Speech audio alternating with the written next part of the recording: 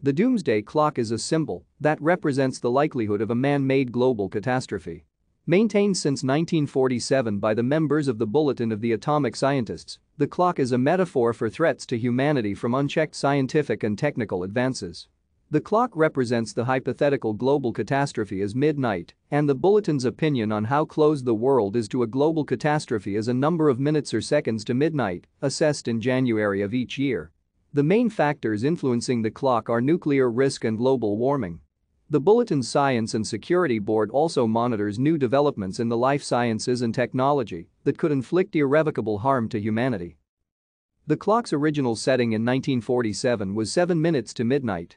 It has been set backward and forward 24 times since then, the largest ever number of minutes to midnight being 17 and the smallest 100 seconds in 2020 and 2021.